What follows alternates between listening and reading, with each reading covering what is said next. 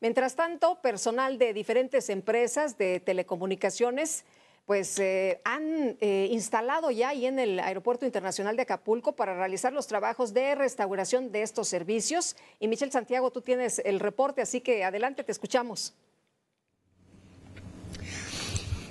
Con el gusto de saludarte desde el puerto de Acapulco, nos encontramos en el aeropuerto y bueno, pues podemos observar a mi espalda, bueno, pues decenas de trabajadores que ya se encuentran pues laborando en la instalación de lo que será este campamento aquí en el puerto de Acapulco. Este campamento será básicamente para personal de distintos, eh, de distintas empresas de telecomunicaciones, cableras, servicios telefónicos e internet. Y bueno, pues podemos observar de este lado estos campers y bueno, te platico que esto es parte de la primera etapa de este campamento que podrá albergar hasta 400 personas. Y bueno, ¿cuál es la intención de construir este campamento en esta área del aeropuerto de Acapulco? Bueno, pues es decir que el, personal pueda pernoctar eh, aquí en, Acapulco sin la necesidad de tener que viajar hacia Chilpancingo todos los días y bueno, perder tiempo. La gente que viene pues va a realizar diversos censos, van a realizar pues el acomodo de cables de teléfono, de luz, van a hacer el acomodo de los postes que fueron derribados por el huracán Otis la semana pasada